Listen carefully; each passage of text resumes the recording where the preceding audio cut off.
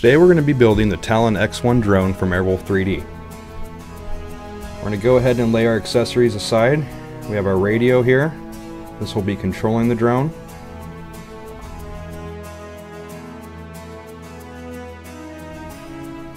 Go ahead and set that aside.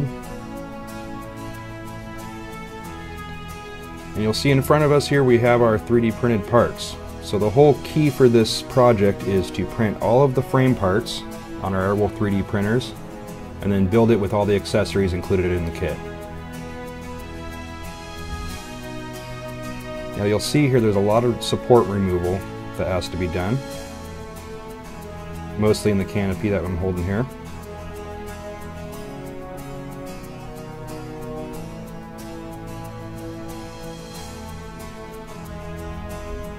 We have our battery tray here that has a little bit of support to remove. We can go ahead and pull that off with our fingers.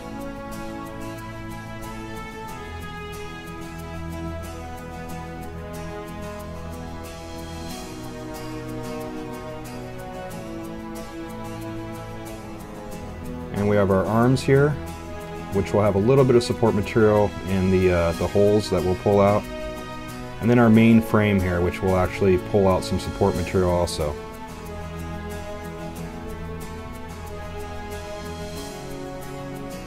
And you notice we have two colors of arms. And the reason why we did this is so that we have our front of the aircraft with the brighter colored arms.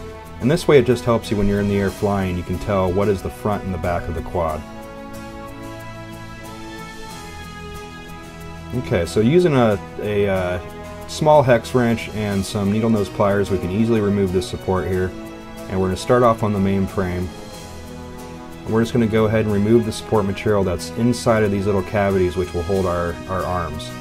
So using the needle nose pliers and the hex wrench we can go ahead and do that. Here you see the little holes which will have our, our uh, threaded inserts in there. We'll go ahead and remove that as well.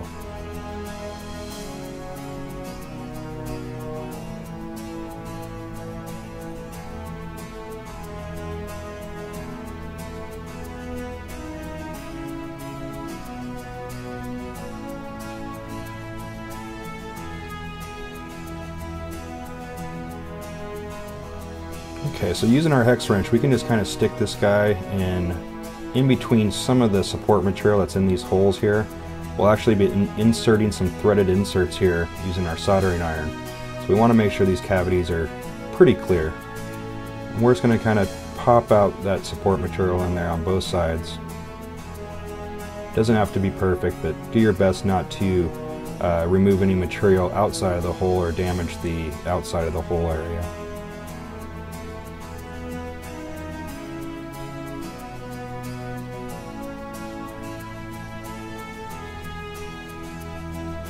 And we're going to do the same thing on these arms here as well.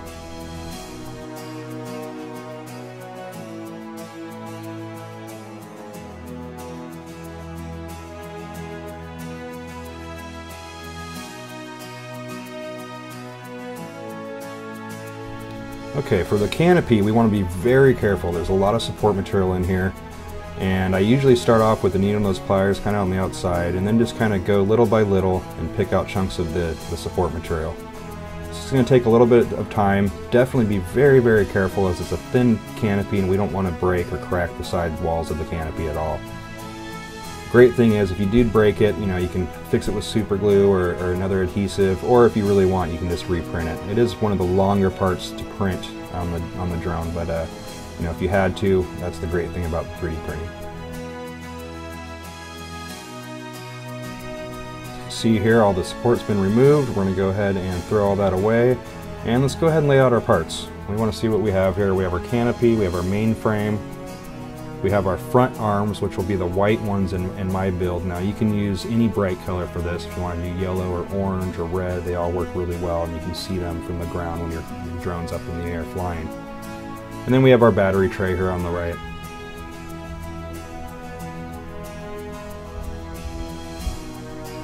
So now we're actually going to insert the brass threaded inserts into the frame components that need them. And as what these are going to do is they're actually going to capture screws when we screw on our canopy and install our arms into the quad. So let's go ahead and open up our box. And we're going to look for the bag that contains our brass threaded inserts. This will be in hardware bag 2. And we're going to heat up our, our soldering iron and we're actually going to be placing these brass inserts on top of it so they'll heat up. And if you notice there's a taper on one side. We want the taper to go inside the hole. And we're just going to firmly press once we find the hole with the insert and the insert's just going to slowly melt into the plastic. We want to be careful. We want, don't want to go too far in there. And if it's crooked a little bit, we can just use the soldering iron to, to straighten it out. Be real careful when you're placing the inserts on the soldering iron. It's going to be very hot. You don't want to burn yourself. So here again, we're going to put the, the uh, tapered side inside the plastic. Just so that it's flush with the surface of the arm.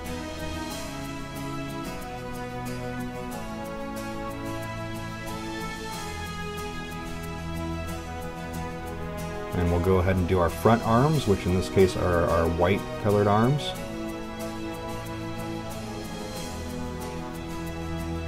The tapered side goes into the arm, and we're going to press it in until it's flush on the surface. Now on our frame we want to do our two canopy mounts. This is where the, the uh, canopy will be screwed onto our frame.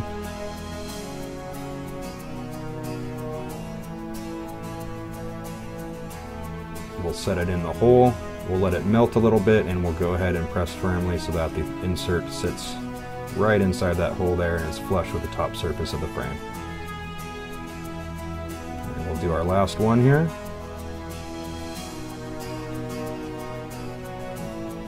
Now these inserts really make it nice because you don't have to use really long screws or catch nuts or anything which you know can create a lot of uh, weight and with drones we want this thing to be as lightweight as possible. So here I got a little bit out of place, but I went ahead and corrected it. You can go ahead and go back in and melt it a little bit and make it straight. Okay, so that concludes our frame preparation. We're now ready to install some of the electronics. So we're now going to go into the box and find our hardware bag one, and we're going to find our motor mount screws here. And we want to dig to the bottom of the box. You're going to find some foam packaging around our motors. Go ahead and grab those out.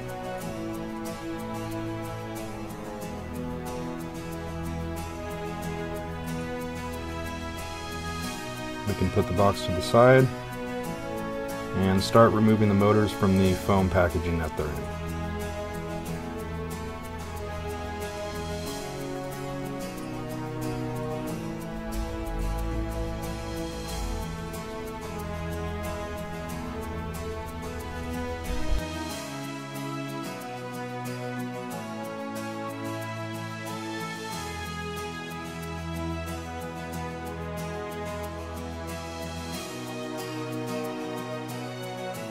Take a look at the motors. You'll have two with silver lock nuts on them and two with black lock nuts. These have to go on the correct arms as the motor rotation will play a big role on how these lock nuts screw onto the motor. Let's get our hardware bag one and remove some of the screws.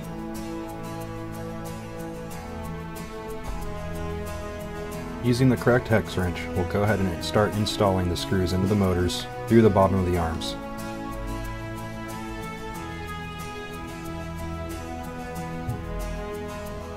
We want to make sure when we're screwing these on that we line them up so where the wires run directly across the top of the arm. We'll do all four screws, but we won't tighten them yet. We'll keep them loose so we can rotate and move the motor around if we have to.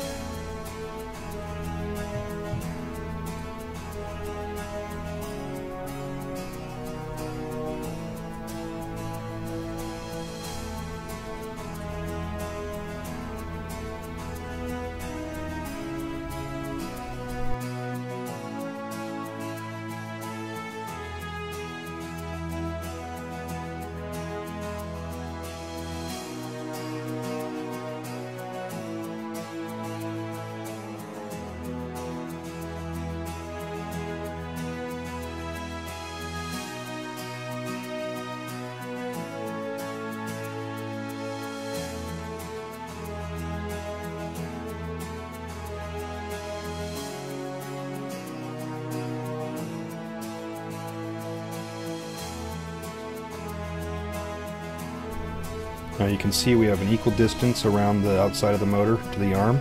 Once we get that and we have our wires running down the, the length of the arm, we can go ahead and tighten the screws. And the best practice here is to do it kind of in a pattern, so do one screw and then go directly across. Don't go in a circular pattern. We want to go from one and then across to the other, and then we can do the other two. Don't over tighten these, but make sure they're nice and snug. And here you can see the wires are running down the correct direction on the arm. And we'll go ahead and do our other three arms here.